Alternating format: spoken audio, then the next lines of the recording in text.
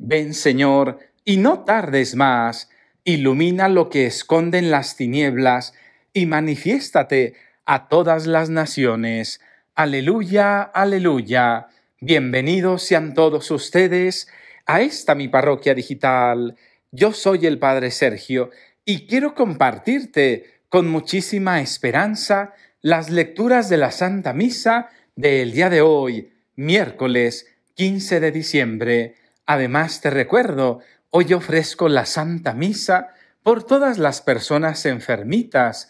Si conoces a alguien que necesite de nuestras oraciones, por favor, escribe sus nombres en los comentarios y si tú te unes a rezar por todos los enfermos del mundo mundial, en especial por los de esta parroquia digital, por favor, déjamelo saber en los comentarios.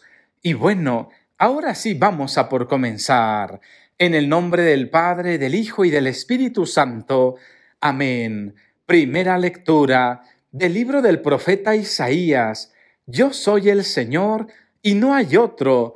Yo soy el artífice de la luz y el creador de las tinieblas, el autor de la felicidad y el hacedor de la desgracia.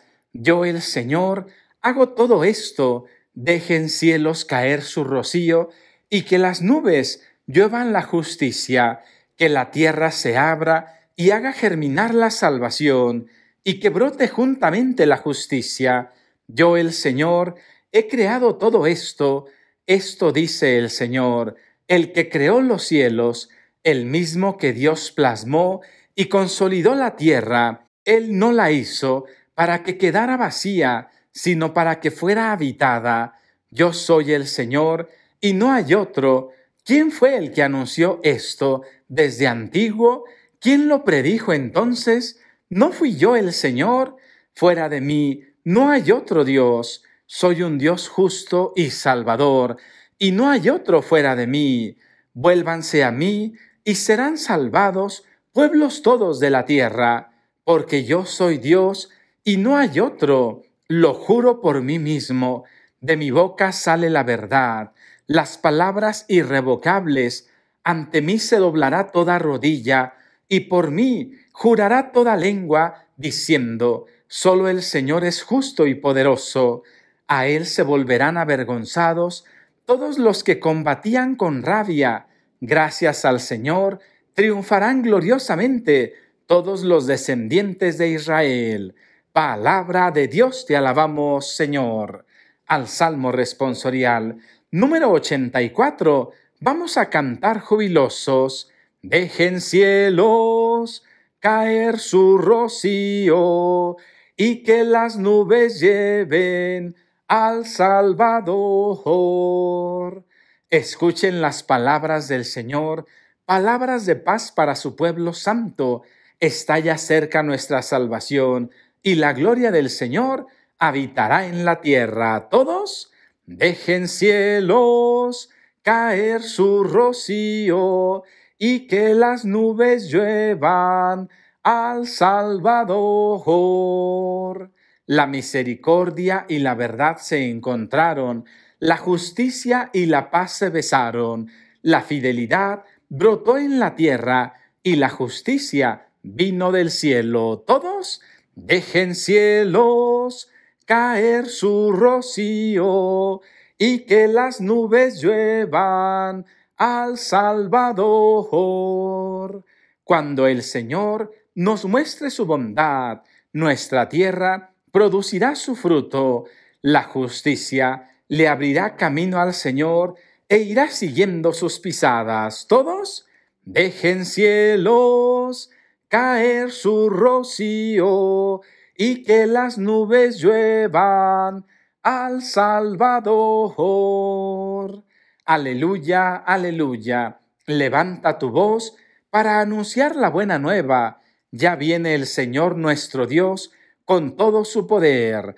Aleluya, aleluya. Que el Señor esté con ustedes. Proclamación del Santo Evangelio según San Lucas. En aquel tiempo, Juan envió a dos de sus discípulos a preguntar a Jesús, ¿eres tú el que ha de venir o tenemos que esperar a otro? Cuando llegaron a donde estaba Jesús, le dijeron, Juan el Bautista nos ha mandado a preguntarte si eres tú el que ha de venir o tenemos que esperar a otro. En aquel momento Jesús curó a muchos de varias enfermedades y dolencias y de espíritus malignos, y a muchos ciegos les concedió la vista. Después contestó a los enviados, vayan a contarle a Juan lo que han visto y oído. Los ciegos ven, los cojos andan, los leprosos quedan limpios, los sordos oyen, los muertos resucitan, y a los pobres se les anuncia el Evangelio. Dichoso el que no se escandalice de mí. Palabra del Señor. Gloria a ti, Señor Jesús. ¿Eres tú el que ha de venir o tenemos que esperar a otro? Esta es la pregunta que le hacen a Jesús. Y fíjate, nuestro Señor no dice directamente, sí, yo lo soy, yo soy hijo de Dios, yo soy su enviado, a mí me están esperando, sino que nuestro Señor les muestra sus obras y les dice, Cuéntenle a Juan todo lo que han visto y oído. Los ciegos ven, los cojos andan, los leprosos quedan limpios, los sordos oyen, los muertos resucitan, y a los pobres se les anuncia el Evangelio. Qué bonito, hermano y hermana. Nuestro Señor responde con sus obras. Ojalá tú y yo respondamos también con las obras que hacemos. Ojalá tú y yo no tengamos que defendernos verbalmente, sino que digamos, mira, estas son mis obras.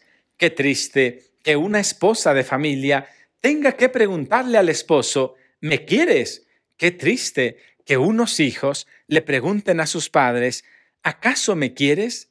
Qué triste es que tengamos que preguntarle a alguien, oye, ¿soy importante para ti? ¿Y por qué digo que es triste? Porque si te preguntan, porque si se hace la pregunta, significa que todos tus esfuerzos, que todo lo que haces no está bien encaminado, al menos no de la forma correcta, porque todo lo que haces es contrario a lo que dices. Hermano y hermana, si queremos ser personas de una sola pieza, debemos de hacer, actuar lo que decimos, debemos de expresar con afecto, con amor, aquello que pensamos. Imagínate qué triste sería que tú te la pases trabajando por tu familia, haciendo lo mejor por tus seres queridos, pero haces lo que tú piensas que es correcto, mas sin embargo ellos se preguntan, ¿acaso mi papá me quiere? ¿Acaso mi mamá me estima? ¿Qué significa esto?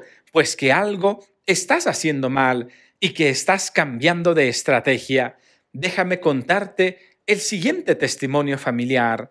Hace ya algún tiempo recibí una carta hermosa, casi cinco páginas, de una familia que viven en Cali, Colombia.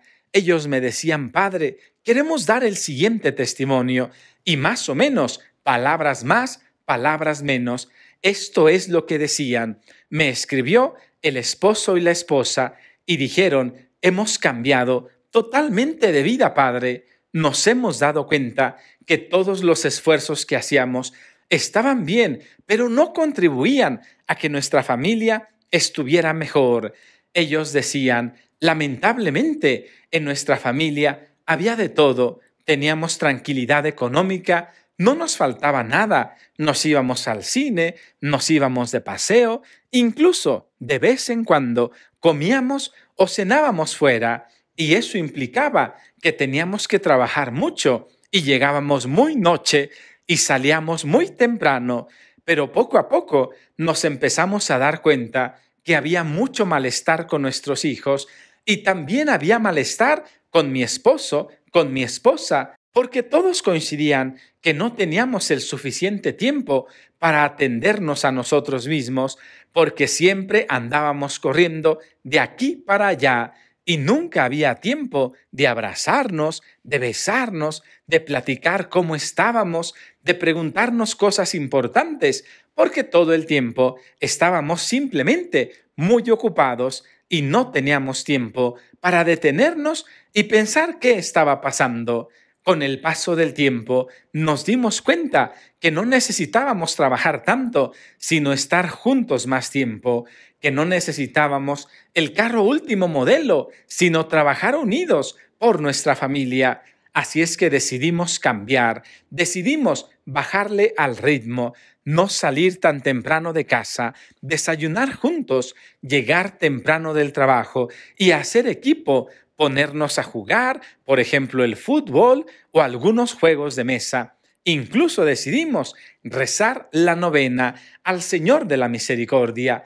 Y todo eso fue haciendo que nuestra familia como que recuperara la vida, el amor y la paz. Hermano y hermana, este es el testimonio que ellos me dieron. Fíjate qué bonito. Ojalá y tú también puedas pensar, ¿Acaso todos los esfuerzos que estoy haciendo han valido la pena? ¿Han dado un resultado positivo? ¿Acaso mis familiares y amigos y personas cercanas a mí alcanzan a darse cuenta todo lo que hago por ellos? ¿Acaso ellos pueden sentir mi amor? ¿Acaso pueden sentir mi apoyo? Examina tu corazón. Si ellos están tranquilos contigo, significa que todo está bien. Pero si te exigen un poquito más, significa que tienes que cambiar tu estrategia como esta familia que sí pudo cambiar su estrategia. Ánimo hermano y hermana, te invito a que vivas en continua conversión, te invito a que te examines y recuerda, si tienes que afirmar con palabras lo que intentas hacer con obras, algo tienes que cambiar. Amén. Y ahora permíteme darte la bendición. Que el Señor Jesús esté contigo y que la bendición de Dios Todopoderoso, Padre, Hijo y Espíritu Santo, descienda y permanezca siempre contigo, con tu familia y en el mundo mundial. Yo soy el Padre Sergio, amigo y servidor de todos ustedes. Les mando un abrazo grandototote y les recuerdo hoy y siempre que la vida de la mano de Dios es fantástica y vale la pena ser vivida. Aleluya.